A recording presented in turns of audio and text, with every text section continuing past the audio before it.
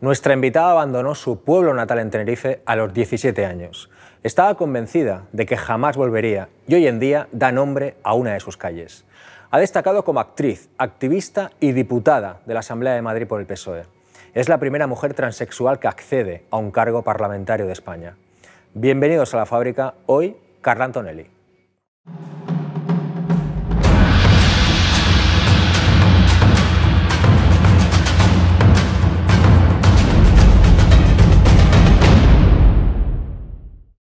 Oye, tú sales de literalmente de tu casa, de tu pueblo, a los 17 años, de Guimar.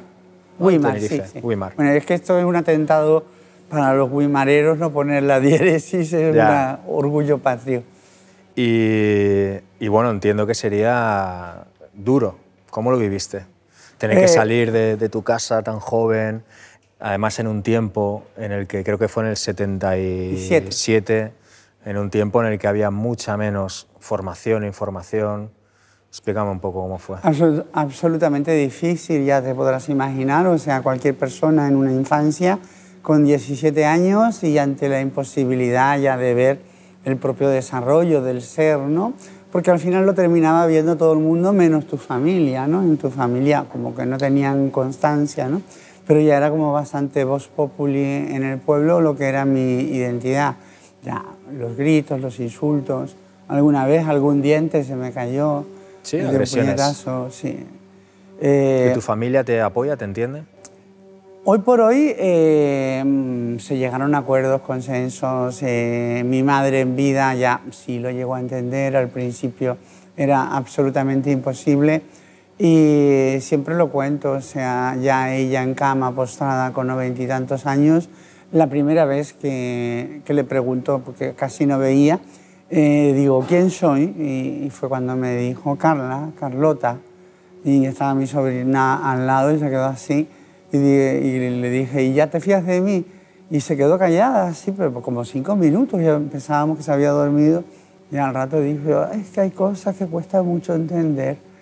Pero bueno, al fin y al cabo, ella, a su manera, desde una perspectiva de una educación ultracatólica, eh, terminó entendiéndolo, pero es verdad que eh, eh, la hizo entender también mucho, digamos, la situación social, cómo fue evolucionando España a lo largo de todo ese tiempo. Eh, yo me acuerdo incluso alguna vez por teléfono, porque teníamos a veces discusiones bastante fuertes, es que tienes que entender, tienes que entender que haya gente que no, pero que haya gente que te, que te quiera, que te aprecie. Y digo, yo no tengo que entender nada, mamá.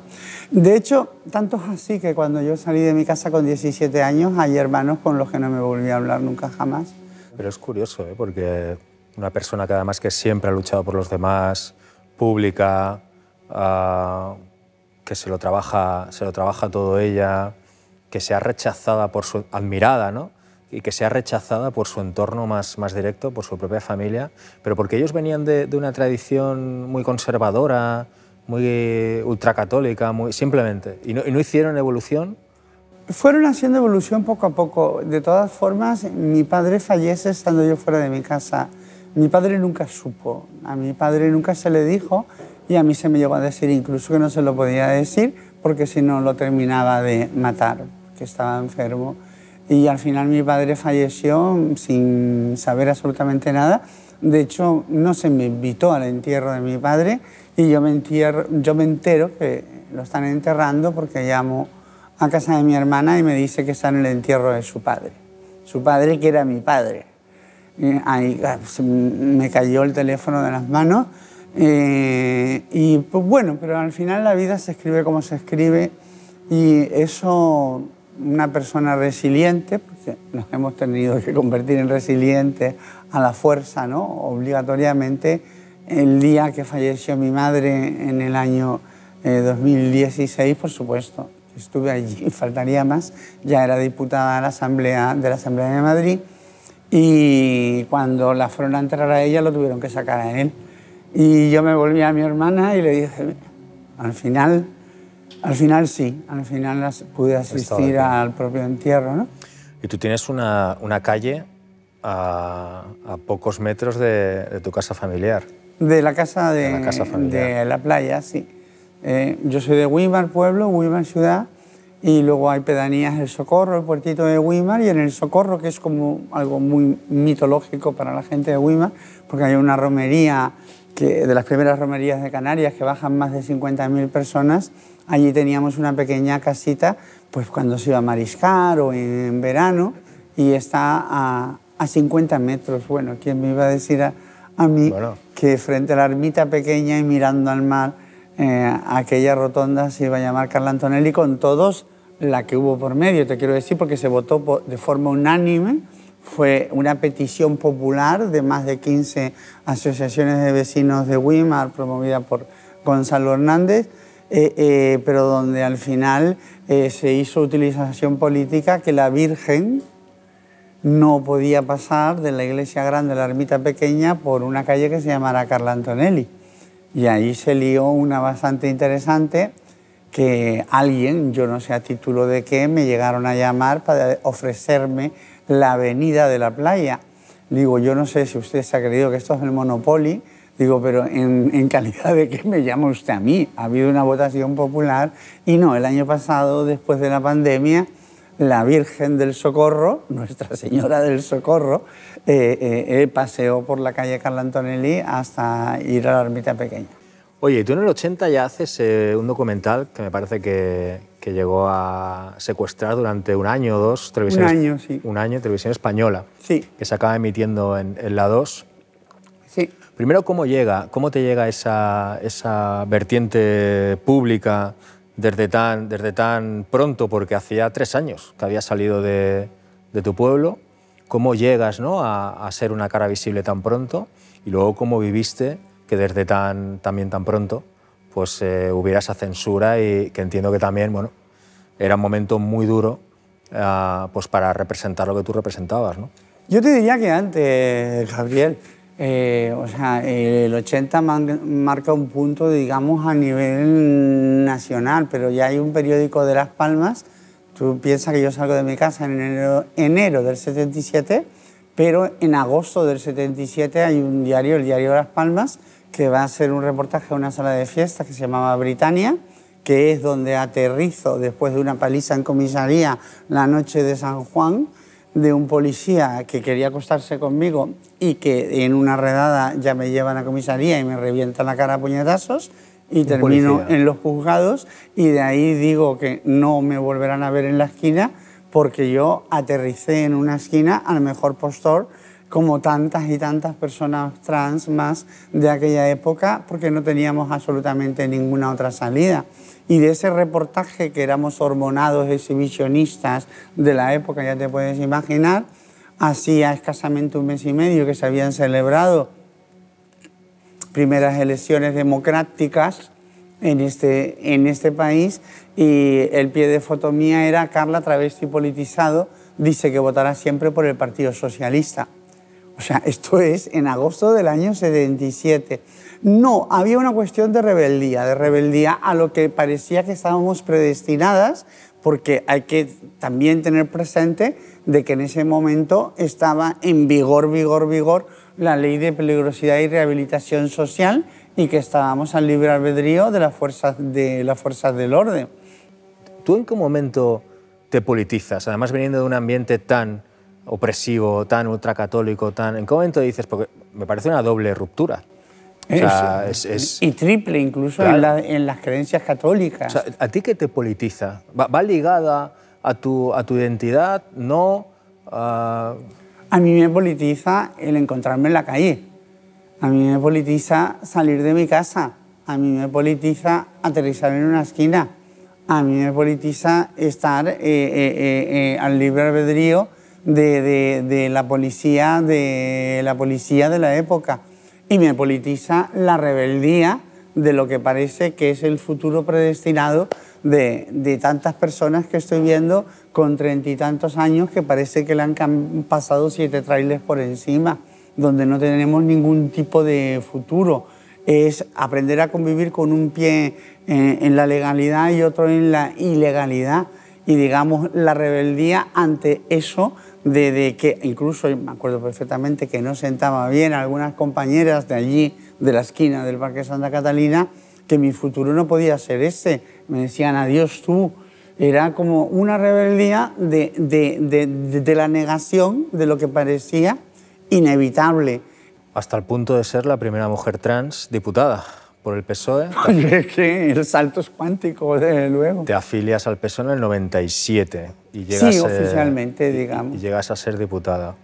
¿Cómo es aquello? ¿Y qué vives? ¿Y qué, y qué, sobre todo, qué PSOE a ti te hizo, te atrajo? siempre tuve claro, o sea, una cosa era la simpatía y la empatía por el Partido Socialista desde aquellos años, pero y otra cosa era la conciencia que desde dentro de los partidos políticos era como podíamos cambiar las cosas. Por esa época entró también el fallecido compañero Pedro Cerolo, por el año 96-97, que yo aterrizo en Ferraz de la mano de Carmen Cerdeira, eurodiputada fallecida, y donde se crea el Grupo Federal LGTBI del Partido, del Partido Socialista, pasó a ser coordinadora del área trans, en la época que se ha ido Felipe González, que ha entrado a Almunia, que Almunia pierde las elecciones, donde hay un 35 Congreso, donde gana, donde gana Zapatero, donde mi apuesta era Zapatero, o sea, pero donde yo veo como eh, eh, digamos, yo estoy ajena a todas esas guerras políticas, yo lo desconozco, yo desconozco de lo que se cuece dentro de los partidos, no de este partido, de todos, de todos los partidos. Yo el recuerdo que tengo es de ir todo el mundo ilusionado en los autobuses a llenar ventas. Y yo me acuerdo de eh, ganar el, el, el Congreso y, abrirse un nuevo futuro y empezar a trabajar con Leire Pajín eh, eh, y hacer un programa electoral donde se incluyó el matrimonio igualitario, la ley de identidad de género, ojo, la inclusión también de, las cirugías en, el, en, el, en, el, sistema de nacional de salud como una prestación más y todas esas cosas, un programa absolutamente valiente. Ya lo decía Pedro Cerolo, y es una realidad como un templo, el socialismo, si no es valiente, no es socialismo. El socialismo, cuando ha ganado de forma contundente unas, unas elecciones, son con programas electorales completamente de izquierdas. Y véase Pedro Sánchez, o sea, un programa comprometido, eutanasia, lo otro, o sea, todo lo que se ha sacado a lo largo de esta legislatura. Y ese compromiso que yo lo tengo grabado a fuego de la ley integral trans, de justamente en el discurso de investidura, donde ha habido, ha habido tanto, tantas revueltas y tantos pasos hacia atrás y la negación incluso de lo que nosotras y nosotros mismos escribimos o redactamos en una palabra, eh, eh, eh, la posibilidad de la conciencia que desde dentro se podían mover las cosas que venían desde fuera. Que tú a un ministro o un presidente del gobierno es muy difícil encontrarlo por la calle tomando, para tomarte un café, pero tú sí le puedes asaltar por unos pasillos y, y convencerle, ¿no? Y eso fue lo que hicimos y esa primera legislatura de Zapatero fue histórica. Mucho gusto, Carla. Igualmente. Encantada de, estar aquí contigo. Eh, y más teniendo en cuenta pues, que tú fuiste la primera mujer trans en ocupar un cargo parlamentario en España, también la primera en tener un papel fijo en una serie de televisión. Eh, y claro, las primeras personas que hacen algo por primera vez marcan, ¿no? Pero seguro que hay otras muchas primeras veces en tu vida que a ti te han marcado. Y tantas. Yo quiero hablar de las que, de tus primeras veces, ¿vale? De, de, las que a lo mejor no son tan conocidas, no son tan públicas, pero que a ti personalmente te han marcado en tu vida. Por ejemplo, vamos a tirar muchos años para atrás. La primera vez que tú te subiste a un escenario, ¿recuerdas cuándo fue? ¿Qué edad tenías? 17. No, a ver, no, mentira, mentira, mentira. Yo me subí a un escenario 17 en el Britannia de Las Palmas de Gran Canaria no, mentira, yo me subí a un escenario antes y tendría 15 años o cosas así en la acción católica de mi pueblo, lo que había sido la acción católica donde interpretamos a Jesucristo Superstar. Y ¿Qué, yo, ¿qué, papel hacías tú? Yo hacía los dos papeles con más pluma. Eh, o yo se la incorporé. ¿Jesús? Eh, eh, no, no, no, no. era Pilatos y Nerón. En la, en de Jesucristo Superstar de Camilo VI y creo que a Nerón lo pintaban con pluma. Nerón creo que salía con pluma. Y yo le robé a mi madre unos saltos de cama que encontré en unas cajas por ahí, en la tronja, que llamamos una palabra canaria, que estaba por ahí. Eh, eh, y allí que me fui, aquello fue un escándalo.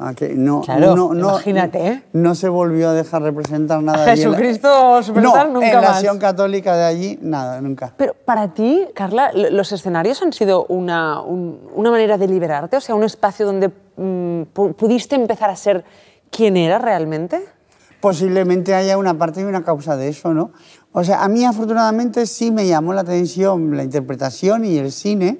De hecho, yo estuve estudiando arte dramático de declamación en, Santa Cruz de Tenerife, en el Conservatorio de Música y Arte Dramático, y la idea era que luego eh, eh, de allí yo pudiera ir a Madrid a estudiar en la Escuela Superior de Cine. Pero todo esto se vino al traste aquella, aquel día que me fui de mi casa eh, después de Reyes de, enero del 77. Eh, eh, dejé la interpretación a la mitad y quedó toda mi vida ya a la mitad y mi vida comenzó, digamos, de, un kilómetro cero a ser quien realmente era. Más primeras veces, Carla. Eh, desde que somos pequeños nos dicen lo que está bien, lo que está mal, luego es posible que cuestionemos esta moralidad, pero no sé si tú tienes el recuerdo de la primera vez en que sentiste que estabas haciendo algo mal hecho. Aunque luego a lo mejor con el tiempo no lo vieras así. Pero tal vez era, fue una mentirjilla o, una travesura. O, sentirte culpable por algo. Mm. Mentiras suelo decir las piadosas. el término piadoso a veces ah, ah, engloba... bueno, claro, pues es lo bueno que tiene, por eso lo digo, porque engloba. no, eh, eh la primera vez, y además que me sirvió de lección de vida, porque yo cuando salí de mi casa, allí en Canarias, eh, cuando llegué a Las Palmas pasé mucha hambre. Yo estuve casi dos días sin comer y a base, y a base de agua y durmiendo en un nidillo de guerra de estas trincheras que había a lo largo del mar, que una noche llegaron un grupo de yonkis y yo salí desnuda corriendo, y no me maté de milagro por los riscos de aquella playa. Em, eh, eh, y aquí en Madrid, aquí en Madrid no, Madrid, en Madrid, donde vivo ahora, eh, al principio cuando llegué también bastante necesidad. Y empecé a trabajar en una sala de fiestas y me habían prometido un dinero y entonces yo estaba viviendo en una casa donde se colaba el agua y, vivía con cartones en el suelo, con un somier y cuando fui a cobrar la primera semana eh, me pagaron mucho menos de lo que me dijeron que me iban a, pagar. Entonces yo con el orgullo de, una niñata de, 19 años eh, me fui. Y entonces es cuando recapacité y dije, atrapa, atrapa, que ya luego vendrán suficientes curvas para enganchar que estaré esperando ahí. y fue donde reflexioné también de, que a veces hay que tragarse el orgullo en pro de, algo eh, mucho mejor. Tú en el año 21 anuncias ah, que sales del PSOE eh, por su postura en la ley, en la ley trans y dices, no puedo entender que quienes han enarbolado banderas de libertades fueran capaces de venderse por una parcela de poder por liderar el feminismo. Decir una cosa y todo lo contrario dos años después. Es una literalidad, es una literalidad, Gabriel. Es, eh, no lo podemos entender, no lo puedo entender yo, ni lo puede entender mucha gente socialista porque es el legado de Pedro Cerolo, porque es el legado de José Luis Rodríguez Zapatero, porque el propio José Luis Rodríguez Zapatero ya salió en defensa de esta ley integral trans, porque fuimos nosotros quienes en 2017 escribimos un texto de la Reforma 3-2007 mucho más avanzado de lo que ha salido ahora en lo que corresponde a la parte del cambio registral de nombre y sexo, pero que el propio Ministerio de Igualdad cogió, copió y pegó y trasladó para que no hubiese, digamos, eh, eh, eh, ningún problema y limar diferencias, ya que había sido un texto socialista. ¿Cómo voy a entender yo que eso lo aplaudiéramos, lo redactáramos, lo escribiéramos, lo aprobáramos y fuera aprobado y votado por quien era en esos momentos portavoz de Igualdad, Ángeles Álvarez, y que ayer y estos días está apareciendo en televisión diciendo que esto borra a las mujeres. Pero mm, muy señora mía, si tú votaste a favor de esto, si tú lo llevaste como portavoz de Igualdad, pero es que era ministra de eh, Igualdad Carmen Calvo. ¿Cómo es posible que esto que estamos defendiendo y que lo redactamos nosotros, porque hoy ese ministerio no lo lleves tú, estés diciendo barbaridades tan grandes que no es sino que una señalización de discursos de odio que atenta a la seguridad jurídica de 47 millones de españoles, porque amanecimos una mañana escuchando a Carmen Calvo decir esa barbaridad. Eso es colocarnos una diana en la espalda absolutamente. ¿Cómo voy a entender si ha habido un 40 Congreso del Partido Socialista que no vino sino que hacer otra cosa que reafirmar el 39 Congreso.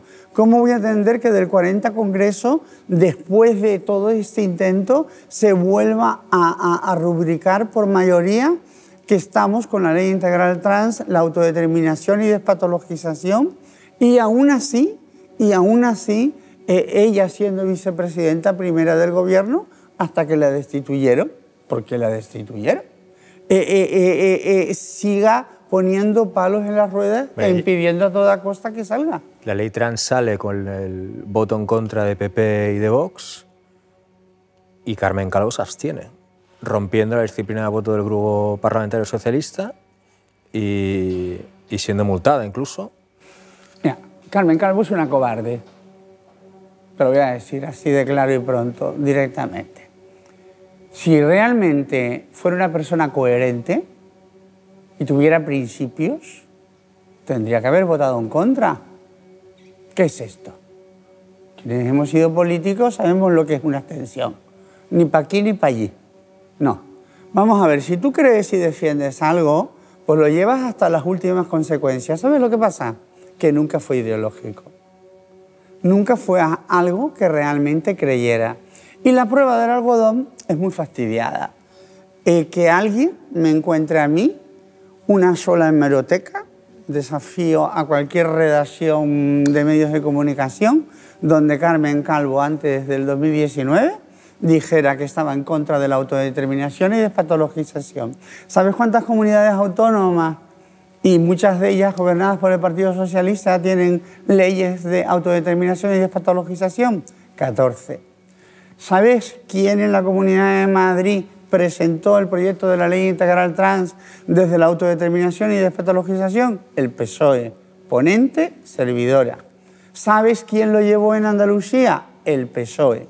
¿Por, qué no levantas la voz ahí? es todo mentira. Entonces, ¿por qué? ¿por qué esa lucha? ¿Por qué esa guerra hasta el punto de salir del gobierno y ser, en este caso, Carmen Calvo, ¿eh? ser... Eh, porque se, eh, perdió los papeles y, desde el momento que tú te subes en un caballo, a veces, por no decir en un burro, a veces es muy difícil luego bajarte de él. Ella, una noche eh, muy desgraciada, que fue la noche del 9 de junio del año 2020, aniversario para más INRI de la muerte de Pedro Cerolo y en pleno confinamiento, saca un argumentario donde compra las tesis. Con Ábalos, ¿no? Firmado por Ábalos. Firmado por Ábalos, yo creo que la firma ya estaba incorporada más que una cuestión de creencia, porque tenía que ir ahí. Calvo y Ábalos. Eh, es, exacto. Donde compra las tesis exteriores que ya se había encargado precisamente Ángeles Álvarez, que estaba fuera del Congreso, porque ella sabía que iba a quedar fuera porque había apoyado a la parte de Susana Díaz y porque ella estaba en la ejecutiva puesta por Pedro Sánchez y ella votó para echar a Pedro Sánchez. Entonces ella lo único que hizo fue, digamos, crearse eh, un futuro, un futuro a costa de las vidas de otras personas, como somos nosotras las personas trans, desde la máxima de tú crea un problema donde no existe para luego liderarlo y vivir de él. Y es lo que han estado haciendo a lo largo de todo este tiempo porque dime tú a mí quién estaría hablando de Amelia Barcárcel, de Ángeles Álvarez, Laura Redondo, Laura Freisas, eh, la Echevarría, que se reinventa cada día siendo LGTBI friendly y de la noche a la mañana es una, una transfobia furiosa de que sus muros de Twitter no es sino que una obsecación perpetua, debe ser por aquello que decimos en, en Canarias, que el que hambre tiene con pan sueña, obsecación perpetua con las personas trans. Ahora que la ley trans se ha votado, yo me pregunto, ¿de qué van a vivir? ¿Qué opinas de la ley de consentimiento, del papel del Ministerio de, de Igualdad y del papel, sobre todo lo, la última acción del PSOE de presentar de forma unilateral una propuesta de reforma?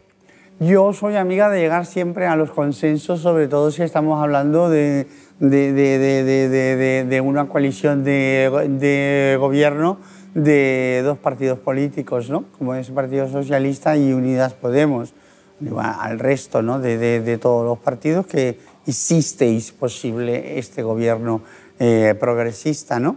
Eh, pero, a ver, no me cabe ninguna duda que ahí hay varias partes y una de ellas es de que se ha ido a dinamitar de una forma continuada todo aquello que ha salido del Ministerio de Igualdad. No, no, no ha sido la ley trans solo, hombre. Esto al principio a, lo mejor podíamos pensarlo, pero se ha quedado bastante meridianamente claro demostrado de que hay una parte del feminismo, de, que lo definió muy bien Zapatero, por cierto, que era una cuestión generacional, que ahí se alteró un poco eh, nuestra amiga Carmen Calvo, eh, eh, eh, que ha ido, digamos, de frente a dinamitar absolutamente todo lo que ha salido del Ministerio de Igualdad.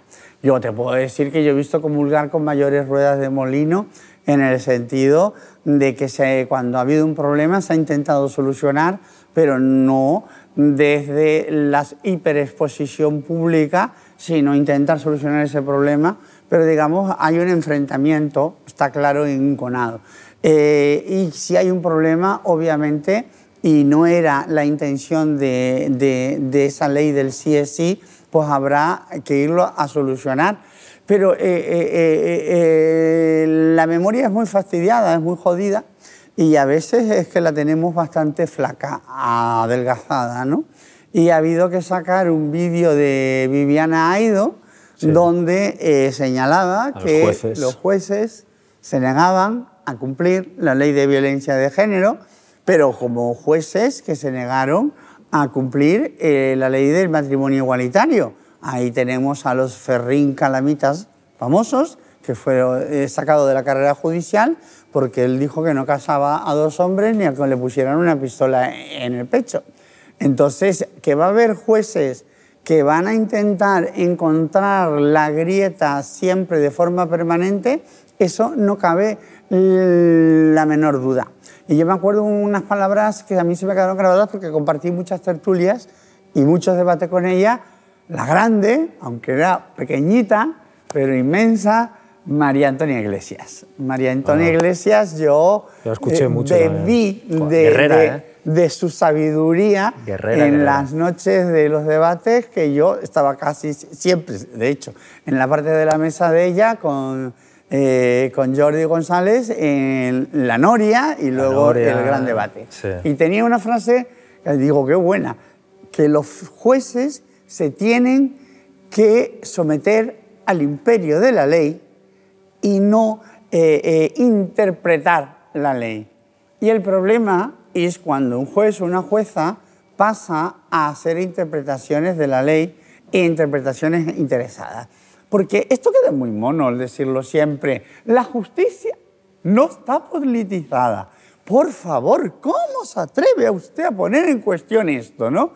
Para que acto seguido la misma persona que lo dice, a los dos o tres días algo que no le viene bien, yo respeto pero no comparto y ya deja caer que hay una cuestión ideológica. Mira, por suerte, por desgracia, todas las personas estamos ideologizadas. O sea, Mm, mm, mm, lo, político es personal y lo personal es político. Entonces, a lo que íbamos, que si hay realmente un fallo, hay una grieta, pues hay que corregirlo para que precisamente eh, jueces o juezas idealizados, eh, eh, eso que no me sale la palabra, puedan hacer una interpretación de, la ley que saque, y por lo visto, la grieta la encontraron. ¿Qué te haría volver a la política? ¿Qué me haría volver? ¿Qué política ya haces? Quiero decir, en un partido. Sin la frente marchita. En un partido. Pues eh, yo soy de la opinión... siempre- Porque ahora, ¿quién, te- quién- quién te ha llamado todo el mundo, no? ¿Ya? ¿Esquerra te ha llamado? A ver, Te llamo eh, yo. Todo el mundo tiene... ¿Por Esquerra? ¿De Santa no, Coloma? No, Esquerra no. Esquerra Te no. llamo yo. Esquerra no. Eh, eh, mm, yo soy de la opinión, o sea, hoy estamos aquí ahora, evidentemente, por el camino recorrido. Y el mañana lo escribimos hoy. Y yo ahora mismo, lo- lo- si algo tengo claro, es, yo no me he dado de baja de un partido para darme de alta en, en otro partido. De lo que no me he dado de baja de nunca es del socialismo. Soy, seré y seguiré siendo Y socialista voz- toda la vida. Tu voz es importante. Pero no me daré de alta, evidentemente. Y luego, si te refieres, ¿qué voy a hacer? ¿Qué voy a dejar de, de hacer? El mañana se seguirá escribiendo. Y si yo tomo una decisión de lo que sea, pues evidentemente ya lo diré y lo informaré. Pero no, yo no estoy ahora mismo, en, ningún- en este momento, en ninguna lista. Por mucho que ya me hayan pasado por las tres formaciones políticas con sendos artículos en diferentes medios de comunicación. Bueno, si el día de mañana fuera, seguro que posiblemente ya habrán acertado.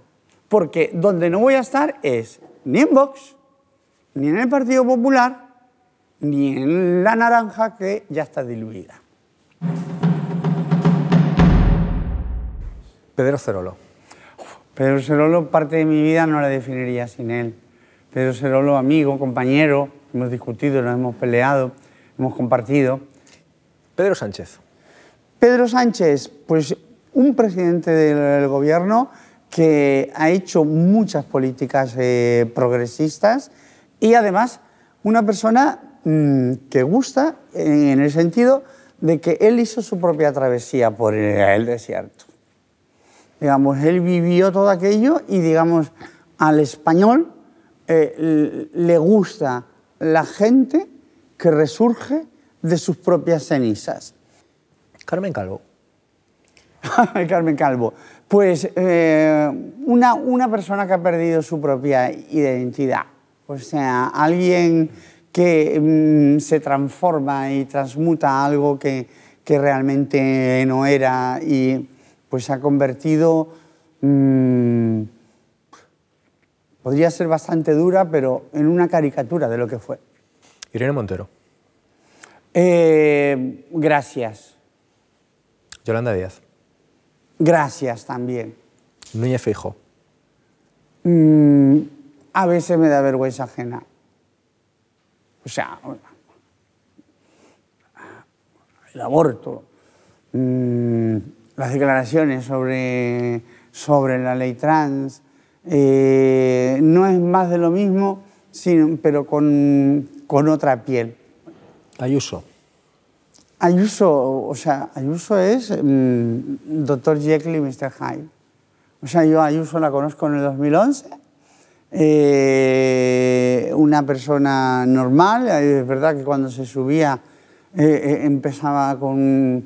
y terminaba en, otro lado completamente, pero Ayuso era la que llevaba redes en, en Génova y era la que empujó con la ley trans y LGTBI que le tumbamos a Cifuentes con la enmienda a la totalidad y salió la nuestra, pero era la impulsora la que estaba detrás de ahí y ahora la vemos aquí que directamente compite con los votos de, de, de Rocío, de Rocío Monasterio.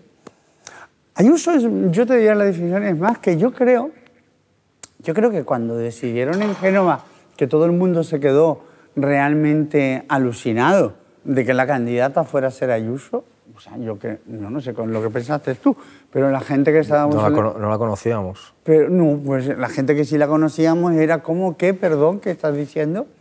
Y al final, al final es la demostración de que eh, eh, incluso lo impensable, venga, voy a utilizar F, eufemismos, lo impensable puede llegar a cobrar vida en política. No lo dijo Churchill, lo dije yo.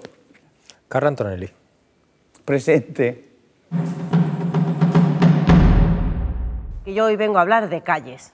De calles, vale. De calle. Callejeros. Porque ella tiene una calle, Sí. pero tú no. A ti te falta calle. Eso es la hostia. ¿eh? Ostras. Tener una calle me parece la hostia. A ti te falta calle. Pero yo preferiría plaza. ¿Plaza? Eso te iba a preguntar. Si tú tuvieras una calle, ¿dónde te gustaría tenerla? ¿Una plaza? ¿Dónde te gustaría tenerla? Donde vivía, en el fondo de Santa Coloma. En el fondo de Santa Coloma te gustaría tenerla ¿Verdad? allí. Porque donde yo vivía ya no- lo echaron abajo el edificio, tenía luminosis, y entonces hay como un descampado feo, donde hay coches que aparcan y tal. Me fliparía ahí tener un- una Ahí, en ese plaza. descampado feo. Quisiera. Estoy, estoy pareciendo un imbécil diciendo esto, porque en realidad no quiero una plaza. Pero si tuviera una plaza, me gustaría que fuera ahí. Joder, pero Pues- sí que hace ilusión que te den una plaza. Sí, porque además, la última vez que vi todavía se ve el baño de un vecino mío. O sea, porque está mal, mal derruido aquello. Entonces me hace gracia. A ver, a ver, a ver, a ver. Yo, hay un parque que lleva mi nombre también. Joder, Carla. es Perdona. que- O sea, tú tienes calle y Eh, parque. Y, parque Buah. en, en Hoyos. En, Te falta en- avión en solo. Sierra de Gata. Esto, pero te va, hay que ir con O sea, la, la pequeño próxima es la parquecito avenida. que se llama avión, Parque claro. Can Antonelli. Y entonces ahora mi mi- mis preguntas van sobre esto. Por ejemplo, ¿a quién le pondrías antes una calle? ¿A Irene Montero o a Yolanda Díaz? Yo creo que haría una avenida compartida. Los creo- pares por un lado y los impares yo- para yo otro. creo que Es la haría- primera vez en la entrevista que Carla Antonini no se moja. Yo, no, yo creo que eh, ha- haría una rotonda compartida donde eh, eh, que ambas sumaran. Una rotonda compartida que ambas sumara. Vale. Está bien. Yo a Irene Montero, ¿Y dónde se la pondría? donde ella quisiera. Donde ella quisiera. Donde ella- yo soy Irene Montero, team sin, Pero prejui- es que pregunta- sin complejos y sin prejuicios. Es que preguntas papá o mamá. Te quiero decir, para mí son dos personas que han apoyado ciertas cuestiones y a las que les tengo mucho, mucho respeto. Y yo en este caso, o sea, tú me dices, ¿por qué? Por- por- por- vamos a empezar por el principio. ¿Por qué has sido mala? ¿Por qué no me has dicho eh, una calle a Carmen Calvo o a Irene Montero? Ahí, vamos ahí. a reestructurar Ahí, ahí, esta, ahí, esta ahí. entrevista. Además, ella estuvo en el PSOE también, claro. Yo sí. de Murcia. Pero porque, era, porque ser pe- socialista en Murcia era ser como casi comunista. De marxista, Pero me- sí. con 16 años, Carla. Yo con No, 16 años pero una que no está sabía. bien. o sea, a, a ver, oye, que no hay que renegar de nada. Y, y yo llevo muy a gala todos los años que hemos estado y todo lo que hemos hecho, todo lo que hemos trabajado, reivindicado y leyes que han salido y que este país no nos podemos engañar, se cambió y transformó con políticas socialistas. No vamos, no, quien espere de mí en algún momento dado que yo vengo a echar basura y basofia sobre el partido que he estado, eso no lo van a encontrar absolutamente nunca jamás. Sí diré cosas por su nombre de personas y esto concreto. Así que reestructuremos. Calle a, Carmen Calvo o a Irene Montero. A Irene Montero. Pues ya está. Porque lo otro es una maldad gratuita. A ver, no es una maldad, es para ver. No. De salseo, salseo. Es Salseo. una, es una maldad Que es lo que nos gratuita. trae siempre Raquelica. Bueno, atendemos. Hay un pueblo en Murcia, tú sabes que yo soy de Murcia. Sí, sí, ya te había pillado ese, yo, Yo soy de. Murcia. No sé por qué. Y hay un pueblo que se llama Los Infiernos. Lo infierno. Los Infiernos. ¿A quién pondrías tú una calle en Los Infiernos? ¿A Santiago Abascal o a Isabel Díaz Ayuso? Pues, Voy a tener que poder hacer la glorieta compartida otra vez de nuevo. A Yolanda Díaz. no. Bueno, mira. Hombre, por favor. Uf, por favor. Aquí hay, aquí hay cosas, aquí hay tensión. Eh, eh, eh, pues mira. A Santiago Abascal y a Ayuso la mandaría. Ya, sabéis que me gusta un poquito la astronomía, que me siga por Twitter. Eh, la mandaría a este planeta recién descubierto de la NASA, que han- mm, dice que han descubierto el auténtico infierno, que es un planeta que eh, la- las rocas están en lava fundida en un océano de lava, es todo el planeta un océano de lava. Por lo tanto, Ay, le- mandemos a varios infiernos. Ay, al, al infierno de verdad. Y vamos a por la última. Está para pensar, ¿eh? A ver, uh. ¿Quién crees que conseguirá antes una calle? ¿Almeida, Carmena o Gabriel Rufián? A ver, Gabriel quiere un parque, Una plaza, una plaza. una plaza. Pero bueno, ahora que dices parque, igual un parque. Tú eres culo veo, culo quiero. O sea, yo ya parque. tengo un parque, tú ya quieres un Un parque. parque, sí, sí, me parece más romántico. A ver, ahora ya me pones, yo estoy en el programa de Rufián y voy a decir Carmena. Anda, pero bueno, no pasa nada. Pero sí, a él no le, él no le duelen estas cosas. ¿A quién crees que le van a poner antes en la calle? Se la deberían Sé poner, a, sincero. se la deberían poner a Manuela, yo creo, antes que a, No que ha a sido nadie. sincero. no Ah, sé, no sí, sé. yo creo que sí. Hace un rato has dicho que quería el parque y ahora dice que... Hombre, a mí me gustaría, pero no me la merezco para nada. ¿Carmena? Carmena. ¿Y tú? Bueno, yo dije Rufián, Rufián, Rufián. Pero vale, Carmena.